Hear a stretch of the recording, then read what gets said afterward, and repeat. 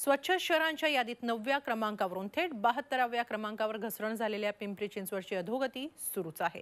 गेले काही दिवस बहुतांश भागात कचराच उचलला गेलेला नाही. त्यामुळे संपूर्ण शहराला कचरा कुंडीचं स्वरूप प्राप्त झालं आहे पिंपरी चिंचवड मधलं हे विदारक दृश्य. रस्त्याच्या कडेला असलेली कचरा कुंडी असो वा सोसायटीची गेल्या काही दिवसात कचराच उचलला गेला नाही. त्यामुळे संपूर्ण शहराला कचरा कुंडीचं रूप आलंय. कचरा उचलणारा खासगी ठेकेदार आणि मनपा यांच्या बोनसवरून वाद झालाय. त्यामुळे सर्वसामान्य मात्र कचऱ्याचा त्रास सहन करतायत. जे काय अधिकारी आहेत त्यांना ही रिक्वेस्ट केली जाते की एकदा तरी येऊन सोसायट्यांमध्ये बघावं आणि हा जो काही कचरा इथे पडलेला आहे त्याच्यात दखल घेण्यात यावी.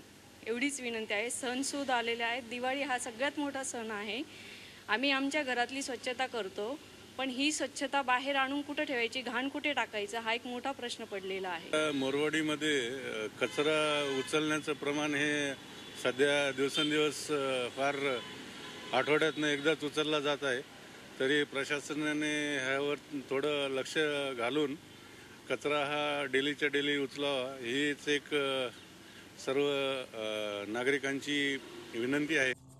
सत्ताधाऱ्यांनी ह्याचं खापर राष्ट्रवादीवर फोडलंय. कचरा उचलण्याचं टेंडर काढताना गाड्यांचे चालक कचरा उचलण्याची जबाबदारी हे एकाच ठेकेदाराकडे असतं तर हा प्रश्न उद्भवला नसता असं स्पष्टीकरण भाजपनं दिलंय. कॉन्ट्रॅक्टरच्या माणसाने गेल्या चार पाच दिवसापासून संप करतायत ते उपोषणाला बसलेले आहे त्यामुळं कचरा उचलण्याच्या प्रक्रियेला थोडासा त्रास होतोय. पुढच्या काळामध्ये आपण अशाच पद्धतीचं टेंडर फ्रेम केलेलं आहे की कचऱ्याच्या गाड्या पण तुमच्या आणि ड्रायव्हर पण तुमच्या. याच्यावर पूर्णपणे शहरामधला कचरा काढला गेला पाहिजे शहर अत्यंत स्वच्छ राहिलं पाहिजे यासाठी आमचे निश्चितच प्रयत्न चालू आहेत. कचऱ्याची समस्या गंभीर झालेली असताना ती तात्काळ सोडवता येत नाही हे सत्ताधाऱ्यांची हतबलता दाखवून देत आहे मात्र ह्यामुळे नागरिकांचं आरोग्य धोक्यात आलंय हे नक्की. Kailas पुरीसह bureau report Zee media Pimpri Chinchwad.